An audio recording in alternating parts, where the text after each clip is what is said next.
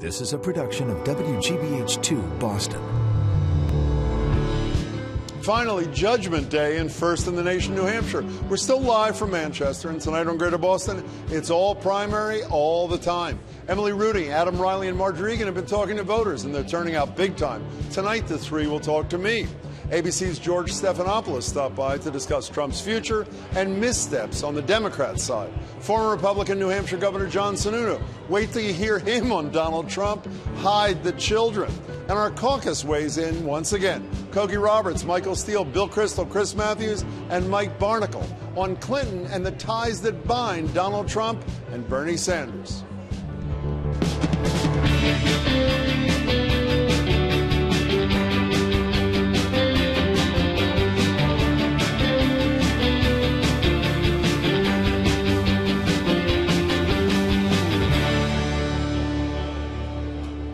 It's a wild scene here in the lobby of the Radisson Hotel in Manchester. Of course, we did Boston Public Radio from here earlier today. We've since transformed the studio into TV mode.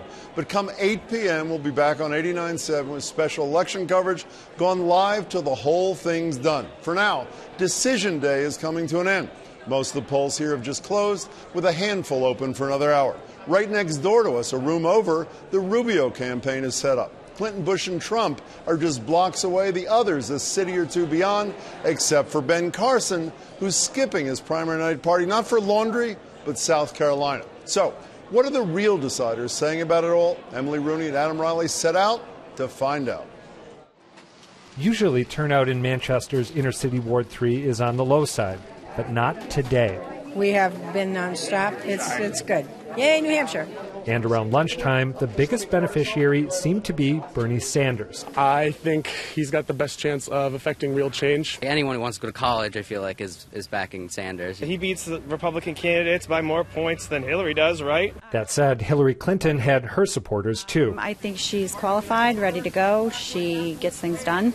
We also found a Jeb Bush backer. We really need a good, solid leader and even a Jim Gilmore guy. I called his campaign. He was the only one who personally answered his phone call. But despite this man's best efforts, no one said they had voted for Donald Trump. I just don't like his sass. Which is a bit odd given Trump's huge advantage in the polls. Emily, what did you see up north?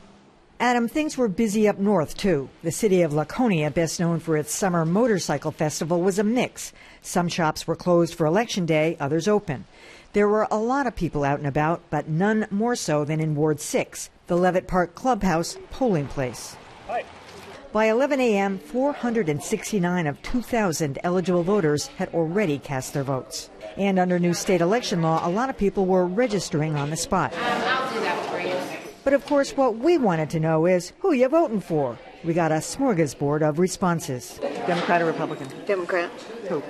Hillary. As long as I don't have to explain it. No, you don't have to explain it. Rubio. Uh, Jeb Bush. I'm going to vote for John Kasich. I'm going to be writing in Hillary. In the 45 minutes or so we were there, though, one name was conspicuously absent. Donald Trump? No. Trump? No. No. No. No. But finally, Trump all the way. Bingo. Fox News mistakenly reported earlier today that Trump had won the race, but some polls are still open. People are still voting, and a winner is yet to be declared. Adam and Emily are here, along with Margery. Good to see you guys again. You know, I hate the expectations game, but let's play it anyway, if that's okay. so Rubio's third out there in Iowa. He's the winner. Uh, Trump and Sanders have double digit leads. So if they win by single digits, are we going to have to listen, Adam, to people saying, oh, the second place finishers, the triumphant one? Uh, we would, and I think in the case of Trump, it would be fair. I was looking back at Real Clear Politics. The last 37 polls, Trump has led by double digits. So if he wins by single digits, that's a big deal. He's and never run in an election in his life. Let, the last 37 polls, Jim, he's been totally dominant, untouchable. So I think if he wins by eight, it's very, very fair to cast the second place finisher as a winner. Bernie Sanders was up by single digits in a couple polls in the past week. So the Clinton people are really, really good at spinning this. They were already trying to depress expectations, but uh, be careful with that. Emily, a, a year ago, Hillary Clinton was 56 points Yeah. ahead in this state. Any victory by Sanders, a win is a win, She no? is going to be extremely disappointed if she doesn't do much better than the polls had indicated go, leading up until today. I mean, I think she would be happy if she had a single digit lead, but she's going to be disappointed. They're already talking about completely shaking up her campaign, and there was a picture out today. They had they were setting up. And they had the American flags on the Lying floor. on the and floor. mean, they are usually meticulous with detail. That was a bad mistake. So is a win not a win no matter what the margins are? I think sometimes we in the media obsess over these things, and if you're the average person, you're looking at this. Somebody won, somebody came in second, somebody came in third. So I, I think maybe we overestimate uh, the nitpicking that the general public does the way we do the general. You know, let's move on. You know, before we move on, I did. I heard you had a close encounter of a presidential kind today. Quickly, what I did. Well, there's this very attractive gentleman walking around our newsroom, and he was saying what nice people we all were, and he was shaking hands with everybody. And he came over to me and he said hi, and I said hi, I'm Emily Rooney, WGBH, and I said, who are you? And who was he? It's Jim Gilmore Oh, from Virginia. Okay, here's another thing I hate. I hate the too. "Who's going to get a ticket to South Carolina and Nevada." I hate that whole thing. Having said that, let's do Who's it anyway. Here's the real clear politics average on the Democratic side. Let's put that up.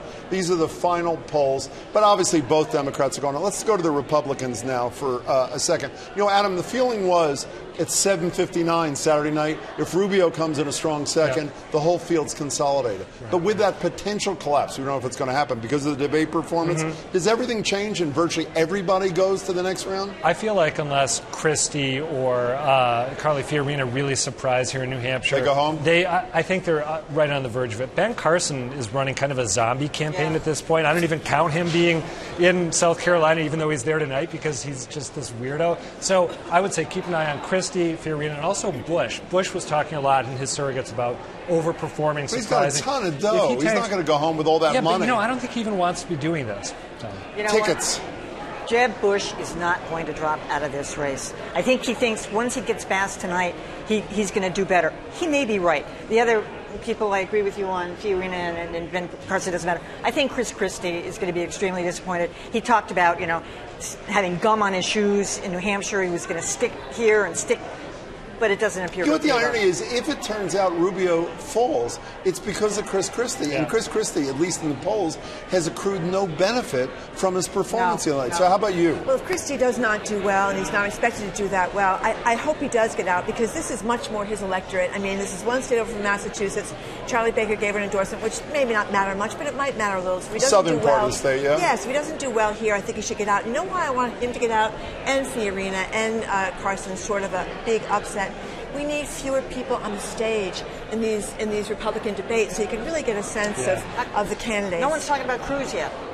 Well, you know, That's it's a good interesting. The star in Iowa, and it's, he's still in the mix for number two. Yeah. But I think the feeling is he's really waiting for Super Tuesday, Yeah. which I can't stand. They now call the SEC primary, which includes Massachusetts and I think Vermont. But that's why we're not talking about him, right? Yeah, well, I mean, he was the Iowa winner, but low expectations here. Also, we talked about uh, Jesus and God and faith all the time. They in all Iowa. do. Yeah, but this is a state where you know that doesn't resonate with a lot of people. This is not a very religious. He's still state. in the mix for number But then two. you go to South Carolina, people are going to love that. They're so. going to love that. So this is like his little hiatus, I think. Do you hate the expression "Who's going to get a ticket" as much as I do? I want to be clear. What is what the other one? Run, I've run never the ticket. What's the expression? I don't know you do the other expression You run the ticket. You run the shoot. You run Yeah, yeah. something. So I want to try one more thing know. on for size here. Before we left town, before we left Boston, I was complaining virtually every night about New Hampshire's status in this whole thing. Yeah. Governor Sununu is going to be with me for a minute, tried to school me on it today. But the guy who really did it eloquently, listen to what Chris Matthews had to say to me. I think it was just yesterday. Listen. The great thing about it is that people in, in New Hampshire are citizens first, and politicians are political partisans second. And I mean that. They, like my parents, our parents, they went to vote. They believed in voting like going to church every Sunday. I think live free or die means something to me. So, Adam, we've been here a week, and it's been a wild week, I should say. Did they deserve number one status? You know, I don't always agree with Chris Matthews. I think he's dead on. This is a treasured civic ritual. These people go to all these events. Sometimes they're kind of boring, sometimes they're not. They agonize about who to vote for, and then they turn out in huge numbers. If you move it away from New Hampshire, I'm not sure you can recreate that anymore. How about you, Emily? Jim, you and I have been kind of cynical about this over the years. We've said, oh, who cares what they think anyway? Let's move on. Let's get rid of this first in the nation thing. I agree with Chris Matthews and Adam. I said they've earned the right. I, I'm just so impressed. I joked the other night about that the guy who was the felon told me, "Oh, I'd like to vote, but I can't because I'm a felon." Everybody wants to vote. Everybody's part of the civic. You're going to make it unanimous? Let me be selfish here. We drove an hour up from Boston. We've got the sleep number bed. You've been ordering breakfast in bed. You got the nice oatmeal. We're getting lunches. We have a wonderful time. You walk down Elm Street, go get great coffee, great food. I want to be back here in 2020. We're not going to go to South Carolina, Jim. This is it. You know, you two are talking citizenship. So is Chris Matthews. She's talking sleep number bed. She makes a good point, though. I mean, the oatmeal's great. Right? Adam Reilly, you'll be at a campaign headquarters tonight. Which one? I will be at uh, Donald Trump. Donald, oh, Donald Trump. Oh, and wow. Emily, I'm gonna be right here Margery, with you. and I We'll are going to be all doing results starting at 8 o'clock. Great to see you all. Thanks so much. You know, last night I had the chance to catch up with ABC News anchor George Stephanopoulos, and I began by asking George whether we are seeing a ceiling in Donald Trump's poll numbers. He seemed to peak out at what? At the, his biggest polling numbers here were about 34, 35 at some point. He seems to be closer coming into the vote uh, today, more around 30, 31. Perhaps. I guess we're going to find out tomorrow. A lot of that will depend on you know the independents here. Do they decide? To, I think they have basically three choices. Do they decide to vote for Donald Trump, kind of the populist, fiery, angry independents? Do they go for Bernie Sanders over on the Democratic side, or John Kasich, making a pretty direct plea as well? You know what's great what you said? I can't tell you how many people we've seen in the last three days here who you say, who you voting for, an undeclared voter? Well, it's either Donald Trump or Bernie Sanders. It's either Bernie Sanders or Donald Trump. The common thread anger is amazing. Yeah, they're really it? just mad. They're just mad at everybody. They're mad at Washington. They're mad at Wall Street. Uh, they- they think all institutions have let them down, and they want to send a message. Uh, you did the first interview. You said this Sunday, right, with Trump after he announced? Right after he announced, yeah, and I've now done. Uh, I'm on 24, I think. Okay. So uh, David Axelrod, I think, started a cottage industry a couple of weeks ago in the Sunday New York Times where he said, I was dismissive of this guy. I missed the whole thing. Did you miss it early on? There's a couple of things that I've been surprised by. Uh, number one, the, the, how much he's been able to sustain that lead over time. I'm definitely surprised by that because remember, he started out and you had, I think it was something like almost 70, 67% of Republican voters who said they wouldn't consider him under any circumstances. That number is still pretty high, but it's nowhere near 67% right now. Number two, you know, I, I, I got to give the guy credit. Um, he's become a better candidate over the course of several months. Learn how to modulate a little better. I, I do think he will. He he could be in for an even tougher ride if he wins here, and if it ends up um, in more of a two or three person race. But one of the other things he's been helped by, and who knows what's going to happen tonight, but one of the things he's been helped by is the fact that his opposition has been pretty fractured. Fractured, yeah. So let's go to the other side, which you know pretty well. As you mentioned before, you have, I think, the rare good fortune, I think, I assume you agree, having been inside campaigns and then cover gives you a perspective that is. I think so. I was a city councilor in Cambridge. Oh, I okay, there you go, right. I really, I understand high level uh, American politics. When Bill Clinton did this thing where he essentially does an assault on uh, uh, on Bernie Sanders and the people who support Sanders the other day. To me, it sounded like 2008 Redux. With uh, you know the fa- the fairy tale candidate in New Hampshire, then Jesse Jackson won in South Carolina too. Am I overstating? A little bit. I mean, I, I, I think there's some of that uh, there um, because he was the first person to do it in their campaign. Um, I, I think the nature of the critique he was making is a little bit different from the one he made against Barack Obama. It didn't quite have the uh, the undertones uh, that, that the one against Obama had. Um, and I do think that he's picking up an argument that, you know, you talk to a lot of people, a lot of Democrats who say maybe it is time for Hillary to be making more of that argument. Could Wall Street end up being in 2016 for her what Iraq was in 2008? Not quite. I mean, I, th- I think if you look back at 2008, um, I would say that was the single biggest strategic make- mistake the Clinton campaign had. By not apologizing for the vote on Iraq, she gave Barack Obama the opening, the, the, the policy opening he needed, and that allowed a lot of his other strengths uh, to come into play. Um, I, I don't think that this has, there's no single vote that you can point to. Um, there's no single speech you can point to, no single policy. And I do think that Secretary Clinton at least has an argument. Now, there's a lot of disagreement over, at least has an argument as to the kind of reforms uh, she's putting forward and whether or not they're as tough as Bernie's. But there's no question that she's being saddled by not just the Wall Street, but the whole idea that she is part of the establishment, which rankles her, but you know, been around a long time, been first lady and senator, and that's clearly weighing against her. Yeah, but, but when you, you suggested that had she apologized quickly, it may have muted the criticism. I'm a huge believer that it's America's very forgiving. But there's no apology here either. It's that answer the other night, which she seemed totally unprepared for when it came from Chuck Todd. Uh, or, or, that's what they offered me. I mean, that's not only not an that was, apology. No, that was that was that was a bad answer. That was definitely a bad answer, no question. Speaking of Wall Street, let's go uh, to our opponent for a second. Howard Dean was here the other day and he told us, obviously, he's supporting Clinton. Howard Dean says the guy's not a coalition builder. He doesn't know how to get anything done. He's inspirational. He's all those things. I he can't get anything can't done. change. I think so much of his um, power, and, and the, the reason he's done so well up until now, is that that speech he gave, he's been giving every single stop in the campaign is the same speech he's been given for the last 15 years. Going back even further, maybe 25 years, the issues change a little bit. The minute he starts to change on that, the more trouble uh, he's going to have. I think he's got to stick with what, what brought him to this point so far. The difficulty he's going to have is that, you know, the states coming up are quite different from Iowa and New Hampshire. They're not as liberal, they're not as white, uh, there's more moderates in them, and that could pose more of a challenge to him. Okay, so if I had done this interview six months ago and I said to you, okay, there's a Democratic socialist that almost nobody ever heard of who's going to be tied in the national polls, and there's going to be a reality TV star and a guy who is maybe the most hated man on Capitol Hill, Ted Cruz, are going to be atop the two sets of polls, what would you have said I would have thought by now, I think they'd be up there, but I thought others would have emerged in stronger positions than they are right now. You know, Bernie Sanders, I, I think for a long time it's looked like a win in New Hampshire was very possible for him for a lot of different reasons, including the fact that he's a neighbor. In some ways, Donald Trump has the kind of message uh, that has worked for other insurgent candidates and the Republican Party in New Hampshire in the past as well, like Pat Buchanan. For sure. Uh, no question about that. So, you know, the fact that they can do pretty well here is not that much of a surprise. The fact that they've been able to su- sustain such strength across the board, I think, is. George Stephanopoulos, it's Great. great to see you. you. Nice to see you. You can find that full interview online at greaterboston.org, and we'll hear a few more opinions on Hillary Clinton's Wall Street headaches and paychecks in just a few minutes. But first, a great politician once said the following Iowa picks corn, New Hampshire picks presidents. The man who said that, former Governor John Sununu, joins me now. Nice to How see are you, you, Jim? Good How to are be you? here. You know, it's a great line, but it's not true. I went back and looked. 2008, McCain and Clinton. Did either of them become president? I'm not done. It was perfect till 2000, McCain 88. It was perfect till 88. Then Clinton came along in 92. He came in second. Right, your former, your boss, George H.W. And Bush George- and won. right. So you want to amend your statement? No, you because used to pick presidents. No, no, because we launch him out of here with momentum. You do? Yeah. Okay, fine. Projected winner on the GOP side. You're sitting, you're sitting down, correct?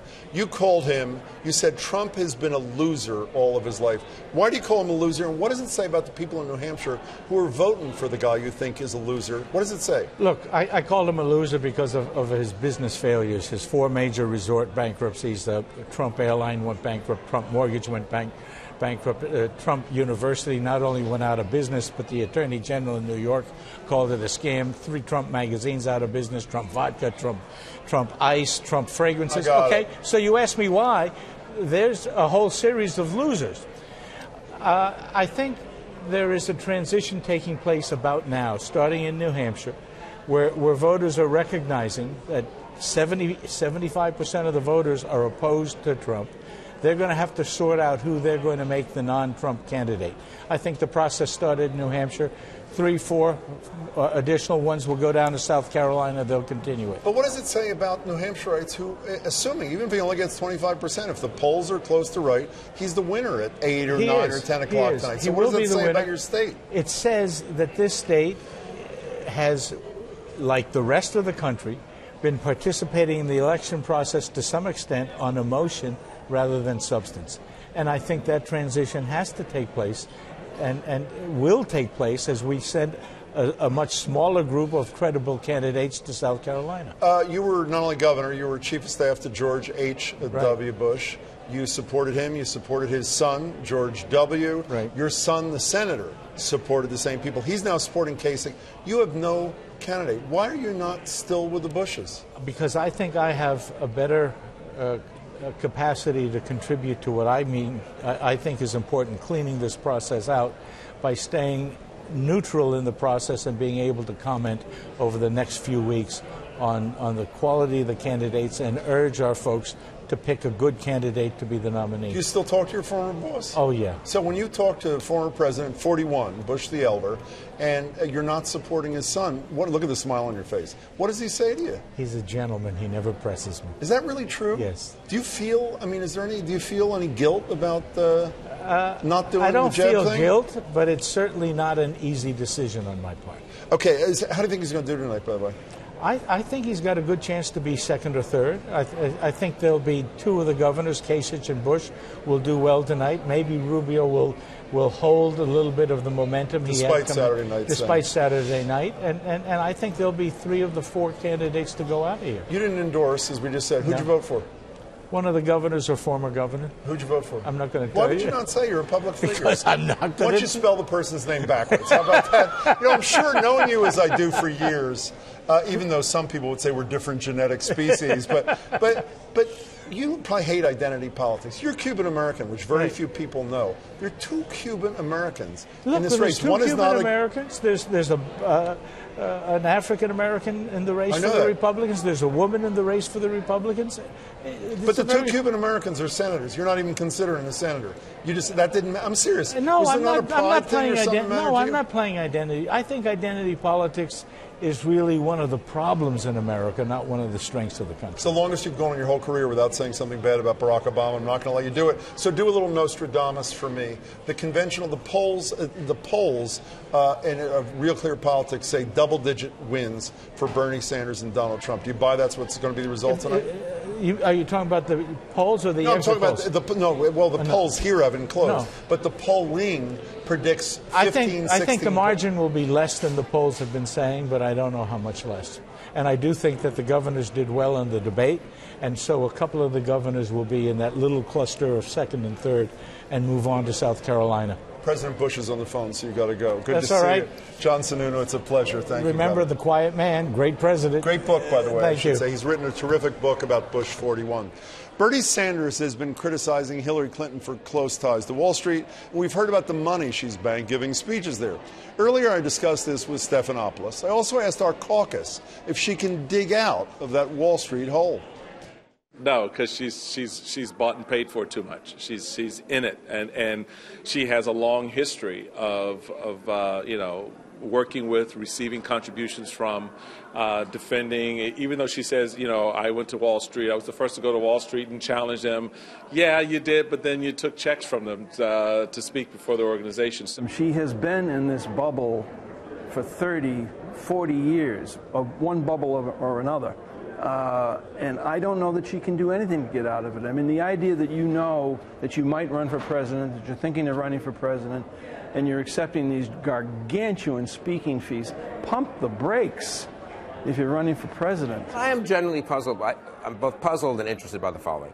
Hillary Clinton is an intelligent woman, and she has answers to Bernie Sanders on these issues. It's not like Hillary Clinton doesn't know a fair amount about economic policy. If I were, you know, advising Hillary Clinton, I mean, to say what I think she really believes is, look, you're a Democratic socialist. Fine. I'm not a socialist. I'm a Bill Clinton type Democrat. You know what? In the 90s, we had pretty good economic performance. She is quite right that she did vote for uh, strong measures that reined in Wall Street, or at least tried to.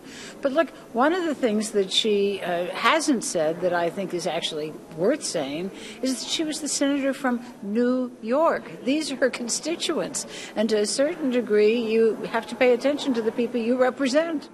Of course, Wall Street is part of the whole establishment argument against Clinton, and it's the two anti establishment candidates leading here in New Hampshire. So, although they're on opposite sides of the aisle, our caucus agrees that's the main draw for both Trump and Sanders supporters.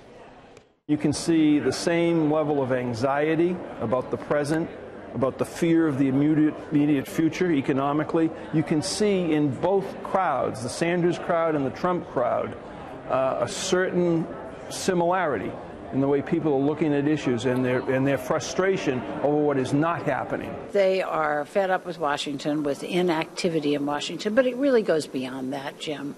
We're living through the equivalent of the Industrial Revolution. Here we are in Manchester, New Hampshire, a city that was completely formed by the Industrial Revolution. And um, we're going through the same thing now, where the entire economy is being shaken up and people have lost their moorings and they think somebody's to blame. Along comes a guy like Trump who says, you know what, I'm not even going to make those kinds of promises to you because that, I'm just not. I'm just going to tell you this is what I'm going to fight for. And there's an interesting connection, very much like with Bernie Sanders, where they get an authentic feeling from them. Uh, and the establishment types who've been making these promises for generations, they have no place to go. There is more discontent out there than the political class, and I guess I'm part of it, in Washington real, has realized, and the media elite has realized. And I sympathize with that discontent. The elites have screwed a lot of things up in the last 15, 20 years political elites, economic elites. Joy is what Bernie brings to the game, it's what Donald Trump brings to the game. Focus and joy. Bernie brings socialism, and it's not a bad word to the people voting for him. People come out of it Trump. I'm laughing at Trump. Everybody behind the scenes on television, we're always laughing because he's fun. Joy, I love that in politics. Again, you can see all of those interviews in full online at greaterboston.org. You know, before I arrived in New Hampshire a week ago, I told you why I thought it should not have the first in the nation primary. Too small, lack of racial diversity, no big cities. But considering its status is not going to change anytime soon, let's review. I met a pig for Sanders, tried to pet it, ran away. Only in primary season do pigs have business cards. Ted Danson of Cheers and Fargo, and Hillary Clinton did not run away when I approached him at the place I spent most of my time, the breakfast buffet.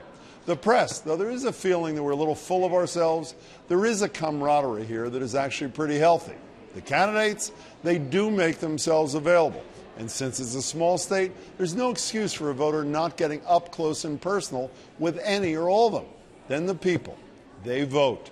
The Secretary of State here says turnout could reach 70%. Compare that with Iowa's embarrassing 16% and their even more embarrassing caucuses. And they do take it seriously. We have spoken to scores of voters who really know their candidates and their issues. So, while I still would not pick New Hampshire to be first, as long as it is, they get it just about right. What do you think? Email us, tweet us, share your thoughts. One more thing before we go. I like to think we've done a few pretty good shows up here, but when I asked MSNBC's Chris Matthews to repeat something he'd said on his show, he refused, saying this. Tell me what you saw, and I've if you been on saw the air every night. Everybody knows what I say. Yeah, but maybe some people now. might have missed you at No, 7 they didn't. o'clock. No, they they made a mistake on once too. okay. Now, if it is a mistake, I'm glad you made it. I hope you make the same mistake tomorrow. We'll be back in Boston with a full roundup of election results and a look ahead. Please join us tonight on GBH Radio 89.7. Margery Eagan, Emily Rooney, and I will be live starting a half hour from right now. We'll bring you election results as they come in, check in with our reporters at the various campaigns, get analysis from some of the best in the business. It all starts at 8 and goes on till the last dog dies.